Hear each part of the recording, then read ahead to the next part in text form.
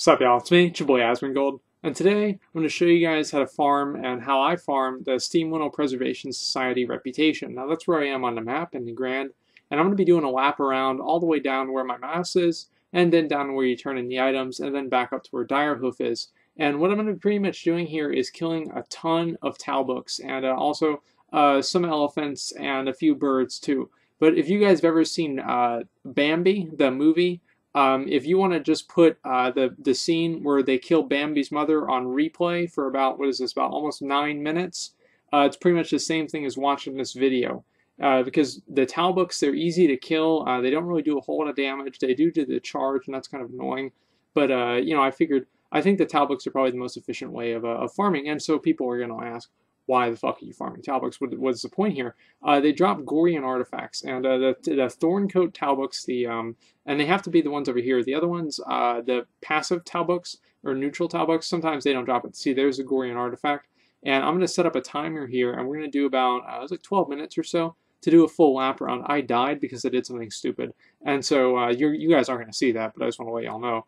Um, either way, so I did die, and so it's going to be about a 10 minute clip and I'm going to get about, uh, I'd say like 1500 reputation in those 10 minutes. And what you're going to be doing here is you just run around to the different packs of Talbuks and kill the Talbuks. It's really simple. Now, obviously, if you're a skinner, you've got a huge bonus here because you can skin everything. And also, if you have other things that increase the amount of loot you get and everything else like that. But uh, in my opinion, the reason I think this is a little bit better, or at least on par with farming rares in the rare groups, is uh, because basically you can still kill the rares. I mean, uh, you guys will see in this video, like, you just pretty much do this lap around, and you're going to cover, uh, like, almost every single rare, like, at least seven of the different rares. And so if there's somebody killing the different rares, uh, you can go and get in on that. And also, you can do this at the same time while you're in one of the rare farming groups. As you can see, there's Bergruu over there. Okay, I don't know how to pronounce his name. I'm pretty sure that's how you say it. Uh, there's Bergruu over there, and I'm going to go kill Bergruu and then get another 500 reputation. Now, every 20 of these Gorian artifacts that you turn in is going to give you 250 reputation. And so on one pack, you guys see, I'm getting like almost 20 in just one pack, okay? And so obviously this is fucking amazing. Um, the Bergruu, like sometimes I wait for other people to attack them. What I usually do uh, is I call out that they're up, and then other people start killing them. I circle back around. It's probably almost close to dead, and then I just put in the final two hits so I can maximize all of my time. Or other people are just killing me, uh, the rares. and so anyway, uh, whenever you start really making making money and saving time here, is whenever you're pulling multiple packs at the same time. Uh, obviously, having the Talbuk that's uh, the you know that you can like mount up on the Talbuk and run around. Uh, that's going to be like a huge huge time saver here.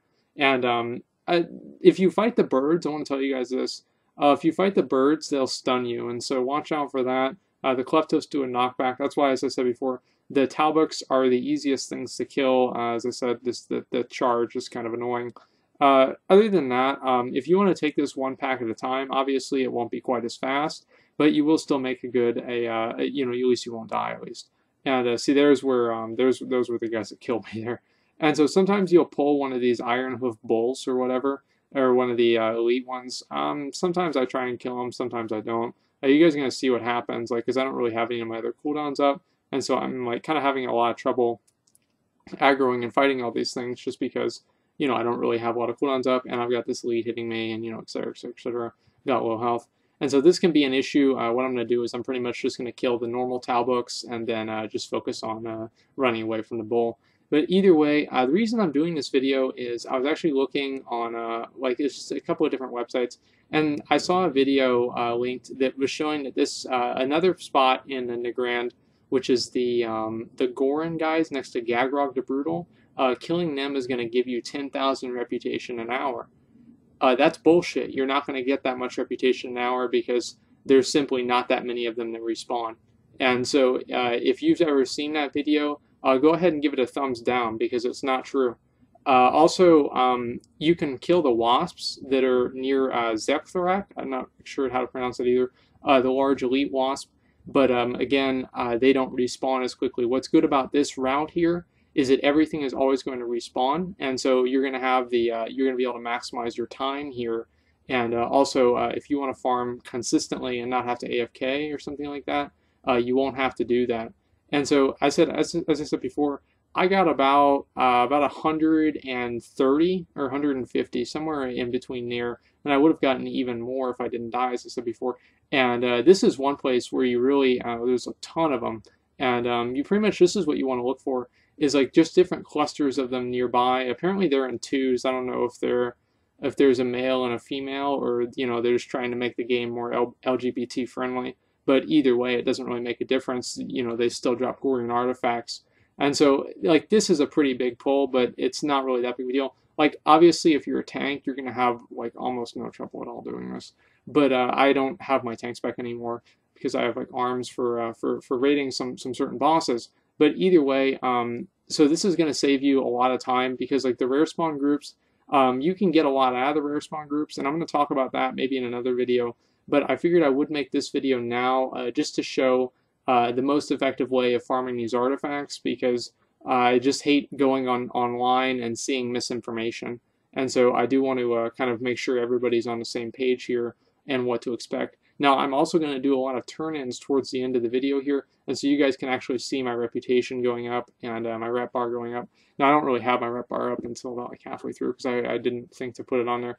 But uh, either way, point being is that you can obviously make a lot of, uh, you know, a lot of, a lot of gains in your rep here really, really fast. And yeah, the elites are not worth killing, and the reason for that is they just, they don't, they drop basically the same amount of artifacts as the normal ones do. And so, unless you're trying to trap them for the savage, uh, savage blood or, or whatever blood, um, there's not really much of a point in doing it. And uh, here we are, and uh, I'll be turning them in. And as you can see, well, I guess my camera will be there, but I'm getting 250 reputation, 275 actually, because I'm a human, uh, 275 reputation each turn in here. And so I'm doing tons of turn-ins. And um, also, uh, if you see little chests, they're like little ogre chests, make sure to loot those because they have more artifacts in them, and they also have an artifact, a specific artifact, a Highmaul relic that turns in for, I think, 350 reputation.